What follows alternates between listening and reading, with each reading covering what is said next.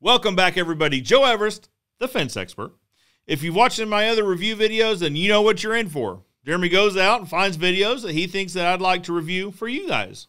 Reviews typically have a positive spin. We all know how many negative reviews are out there in YouTube land, and I'd like to change that. So without further review, here we go. This is Joe Everest, the fence expert. My family's been perfecting their way of building fence for over 60 years, three generations. While there's more than one way to build a fence, I'm here to share with you our way.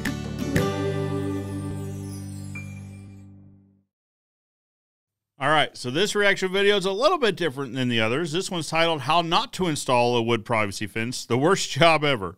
Uh, so this this reaction video will actually just be uh, me kind of giving suggestions on how this fence probably could have been better installed. I think we'll all agree it was not installed correctly, but how how this fence could have been installed better. Uh, also, if you watch the original video, we'll have it linked in the description below. All right, guys. So listen. So I'm over at my neighbor's house. This is my neighbor Anthony. Where you at? There you go. All right. So we're over here. He actually rents the house here, and he's been here for a long time. And the landlord was going to put a Yeah. allowed to put, put a fence in here, and they used a professional company. I think we'll use the term professional company a little loosely, and you'll understand why here in just a minute. We are mind blown. I mean, honestly, he called me up. He said, "Vic, you got to come over here and check out what they did to my yard." The This is just, this is just. I'm not mind blown. This is mind blown. So what I'm gonna do is I'm gonna flip the camera around and I'm gonna show you how not to install a fence. Exactly. I mean, honestly, Exactly. this is basically how not to install a fence. I'm afraid to like flip the camera around. All right, so we're gonna flip the camera. do it. You have to do it. I'm gonna have to do it. All right, here we go. we are right here. The company came out in one day. One day. One day did this whole job. They bought paneling. So guys, this is why when you have a contoured yard, why you cannot use paneling. First of all, they So I'll say this. Well, first and foremost, we build on site. We'll we'll stick build this fence on site, but you know, talking to guys, and it's typically guys in the northern United States, they predominantly only use panels. You know, for the majority of the projects, they only use panels. And I've seen pictures of their work where they've contoured it up and down slopes. So it's not to say that panels can't be used on a sloped yard. This obviously is not the proper installation of these panels. Uh, also, these panels, I would I would guess these panels were picked up at one of the uh, big box stores. So rather than uh, two by fours, those look like maybe one by threes on the rails. Quality panel behaves a lot differently and a lot better than in uh, we'll call it an economy panel that you pick up at a box store. Also, what is going on with these posts? These posts are forever taller than the fence. didn't pull any permits, we believe, or any or any kind of HOA code because this is a six foot fence. This is a six foot fence. We are only allowed a five foot fence. So if they would have pulled permits and HOA facts and all that stuff, they would have known that this would have not. So that's a, that's one thing to note. So it sounds like his neighborhood and the, the HOA covenants and restrictions restrict the height of a fence to five foot. I think he's probably right. The contractor, and I'll use that term lightly, probably didn't pull a permit. If we're looking at all the shortcuts taken in this fence, I'd say they likely didn't pull a permit. But even if they had, the city isn't responsible for issuing permits based on HOA restrictions, right? So the the city or municipality is going to look at does it meet their their rules per se uh, to how the fence is to be built. So this fence could be built. It's got a lot of problems, but it could meet the the standards of the city municipality. A lot of them require no taller than six foot in the backyard, four foot in the front yard. Uh, so even if you do get a fence permit, you still have to check with your local homeowners association covenants and restrictions if you have one to see what they call for as ta- as far as height of fence, style of fence, that sort of thing. worked in the first place because we're only allowed a five foot fence. That's why I did a five foot fence in my house. All right. This is why you can't use paneling on contoured yards like ours because watch this. But you leave the poles. You leave the poles just sitting there like it's all right. I mean, Yeah, this is a professional company. I'm not going to blast any names or anything like this, and I know, okay, I know not a lot of companies do this. No. This is probably a brand new company, few and far between, so I'm not putting fence So I would probably agree. It's either new company or what we're seeing a lot right now. I mean, we're in the middle of a really good economy. You know, economy right now is is has a lot of steam to it.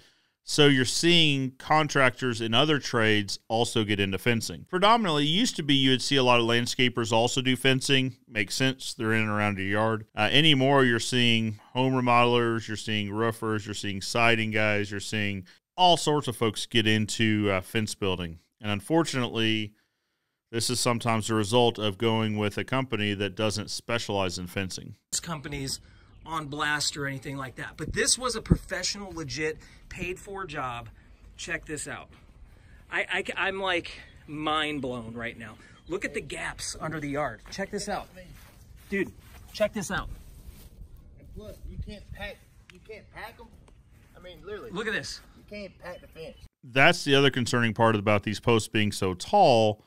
You know, they were likely, they're likely using eight foot posts I mean, eight foot is a standard length in a four by four post. Four by four eights, four by four tens, four by four nines really aren't. You know, nine foot long. Uh, four by fours typically aren't aren't readily available at the big box stores.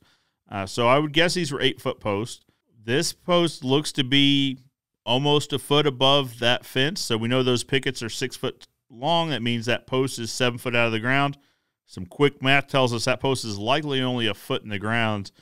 The way he's shaking it, I would guess there's not concrete around it.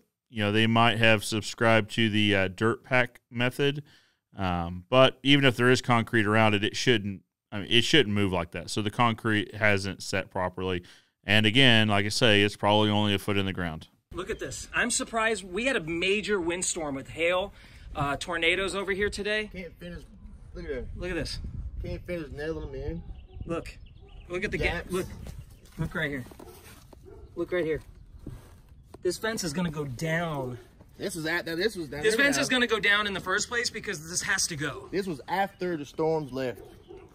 After everything was gone. Uh, th this I mean, we put two by four. Check this out. Put two by four because the fence did not reach. So probably what they did was uh, they placed their post. I would usually say they set their post. I'm not convinced these posts were actually set with anything. Uh, they probably placed their post before they put the panels up, uh, and they got their post spacing wrong. Uh, so you know, the guys that are using uh, pre-built panels, they know the exact length of the panel, and so typically they'll have a story stick or uh, some sort of jig that will tell them exactly where each post needs to be placed so that the panels work out just right. Uh, obviously, that didn't happen in this case. They didn't. They didn't gap it long enough. Like they put they put it probably like eight and a half feet. Yeah. And that this is why I did a seven foot span that's and non-panel. That's how you fix it, though. Two by four. Yeah, that's if you really need. If this is what you do, this is how you fix it. that's how you fix it professionally. Look at that professionally. You put it. Just stick a two by four. Yeah. And it'll it'll be it'll be good. Professionally. And seeing that two by four on there shows you the difference in what a two by four looks like with panels are built with 2 by 4s rather than a 1 by 3 All right, so let's show the back corner over here. Same thing here. Look, it didn't fit. Nope. So they just put a 2 by 4 going across the side. Look at that. Look at that gap. I mean... So that gap is one of the disadvantages of using a stair-stepped fencing style. Uh, we talked a while ago about the different ways of installing or handling contoured ground. One of the ways is a stair step. This is the disadvantage to that is you will have a gap at the low side of the fence. Dude, and Anthony's a big dude. He's tall. He's six foot, and he. he oh my God! Look at this. I'm shaking it. Oh yeah, this, there's nothing. This, but this is okay. This, this how you fix the end of the fence. Yeah. So they didn't. So the the end of the fence wasn't good enough. They're crooked. Yep. Poles aren't straight. So they took this piece right here, right there. Look at that thing. And they're gonna fix it. And they're gonna stick this right in here, like that. Now coming over here, look how there's nothing straight about this thing whatsoever. I don't want to shake it because I don't want to do any personal damage. I'll shake it. They're gonna tear it down. They get back. Yeah, this fence has got to go. So in our HOA code, people said in my video, they said, um, you know, why does it not look straight? Well, we have to follow the contour yeah, of the yard. So, the yard. all right. So coming over here, this is the neighbor's yard. So this is the other way of handling contours is to slope the fence or follow terrain of the ground or follow the slope of the terrain uh, with your fence. So rather than a stair step, stepping down and then moving over, you know, the fence that we're looking at now is likely built on site, and this is a contoured style rather than a stair step style that you see that the other guys have installed. This is professionally, professionally. Right. Now look, we you have this hill right here, right? Yeah. Goes down. Perfect. Okay, and then comes up. If you notice the top of the fence follows the contour of the yard, and then there's that hill and goes up. Okay, that's how it's supposed to be. Piece by piece. Yep. That's that's our code for our HOA. Same thing with back here. Come around and it goes around. But then come over here. This is a professional fence company now. Guys, if you have the ability to do this fence yourself, So, guys, let's talk about this. So, this company or these individuals sold themselves as a professional fence company or fencing contractor. This is the reason why we'll have to face licensing at some point. No one wants to. I'm not an advocate, per se, of everyone having to have a license similar to what you'd have to have to be, you know, a, a master plumber or master electrician. I think we're gonna have we're gonna see some sort of that system because of junk like this. You know, guys that say that they are a professional fence company and then they provide work like this. I think that's the re- this is a very good example of why we would have to face licensing if this stuff continues. I highly recommend doing it yourself. But check this out. Look at the gaps underneath that. Look at that. I feel bad. I mean, thank God you didn't have to spend your money on it. Okay, now we're gonna come over here. Let's move over this way. Yeah. How you supposed to get out? So, so here's the, so here is, now y- you would think that they would see that every other fence in the neighborhood is five foot. Mean, really, That's nuts. really. I'm mind blown. I mean, this has been set for three hours now, and It's nothing. m- packed in with mud. mud. I mean, what the heck? Okay. But still, Now- how, you, how you supposed to get out? Yep. Now unlock, lock me in. You're locked in. How you gonna get out? Okay, I'm, I'm, I'm in. Okay, I can't. Oh, look at that. Hey, look at those nice screws right there. Look at the nice screws going through the uh, board so somebody hurts. You got kids, don't you? Yeah. Yeah, I know you do, but, you know, look at that. So what happened here? They just used a regular panel and tried to make it into a gate, but but they didn't align. They didn't align the height of the fence. So you have structure on the gate not meeting structure on the latch post. So they set their latch first into uh, into that structure, but then that gave them no choice but to come below the structure. Now, listen, there's there's a lot of issues here, but how hard would it have been to add a two by four vertically between that structure? And that's a whole nother conversation too. That this gate doesn't have any sort of structure to it that will support it as a gate. Uh, it wouldn't have been hard at all to add a two by four for structure, and so that those legs aren't exposed. It screws in here. Another Some. Oh, hey, nice foot. So I can't get out of the fence. I can't. So if I have a fire and I can't get out my front of my house, I'm Yeah. stuck. I gotta You- jump. I gotta jump a six foot fence. You, you knock this one down. You could probably oh, get I'll out. knock it down. you could probably get I'm out. already knock it down now. Yeah, I wouldn't mess with it because this is completely the biggest hack job I'd ever seen. So here's what I'm talking about. You can't have this. This is not meant to be. You don't go through there. You would go through that. This is I mean, I mean, I mean, I'd rather have it up here at I least can up reach there. over right. And take it. But now look at how this is what they did. They told me we're almost done. I'm like, no, no, you're not. I mean, look at you look at this fence to this. How you done? The gate, there's not even at the very minimum. Like on my fence gates, I messed up. I didn't put my cross supports yet, and, I, and it's actually holding up okay. But there's nothing. This is just a paneling that is sawed right down the middle. So typically, when bracing a gate, you would brace it uh, depending on how big the gate is, what the angle of that cross brace would be. But from the bottom hinge up to the top latch side, so you would create kind of a, a, uh backwards Z. But yeah, there, there's actually they just took a panel and cut it and made it a gate. Uh, you'd want to see significantly more structure on this gate, or else it it'd sag and twist pretty quickly. Yeah, That's it. they use the other one for over here. Yeah, and they just continued on. They just made it, cut it, and made a gate There's out of it. piece right there. That's piece.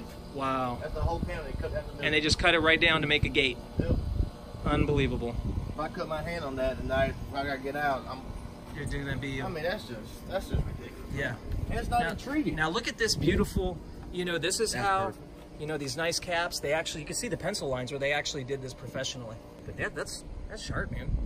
Yeah, he can get out of his fence. But he can get out of his fence. I I don't understand that react. Like I, I get that you need to get out of the fence, but this reaction's a bit much. I think you could probably have this reaction to the fence as a whole, though. You know, look at. Look at the wood though. That's the cheapest wood you can get. Oh, I'd be rotted in a couple months. I, I'm mind blown. There's so many wrong ways and so many right ways that you could do a fence. You could do it yourself. It's super inexpensive, but So this video was made before all the lumber increases that we saw last year, continuing into this year. Uh, lumber isn't what I would call cheap uh, anymore, unfortunately. you have you can't. This is this is bad. I'm still blown by the two by four. I'm- God damn it. I'm just this thing is like I can't even fathom. So one thing about the post, so if they were set to the correct depth, which they're not, but if they were, they would be closer to the two by four. They'd still stick out above. So typically, what we would have done, which granted this was installed with panels, but typically we would cut those posts before the pickets ever went up. That way, they are nice and in line with that top two by four. Gives it a little bit nicer look. Which granted, one of quite a few things is going uh, wrong here. You This is just mind blowing because we wanted to show you before they come and rip this thing out. Oh, they're gonna rip it out. Yeah, It's this this has to to come out. We, At least they try to do like a, a slant cut and that'll do the yeah, yeah, that one that one was really good too. Look right there. They actually tried right there. That's crazy. So I was looking at this before. So they they cut that panel down. You can see that bottom two by four just ending into the dirt, which maybe maybe they trenched over to the post. I doubt it. They probably just cut it. Uh, but this, it's a bit of a train wreck throughout. there to do some kind of slant cut. I don't know, man. Well, you'll get it fixed up. I mean, it, you Oh, know, yeah, they get they gonna get fixed. yeah. So So guys, let me know uh, what you would have done differently with this uh, with this fence, which I, I can see the comments getting lengthy. So why don't you let me know if I missed anything or if uh, you do anything differently than how I would say we would have handled it. Uh, let me know in the comments below. Again, if you'd like to watch the original video, we'll link it in the description below. Uh, but until next time, I'm Joe Everest, the fence expert, reminding you that good fences make good neighbors. We'll see you next time.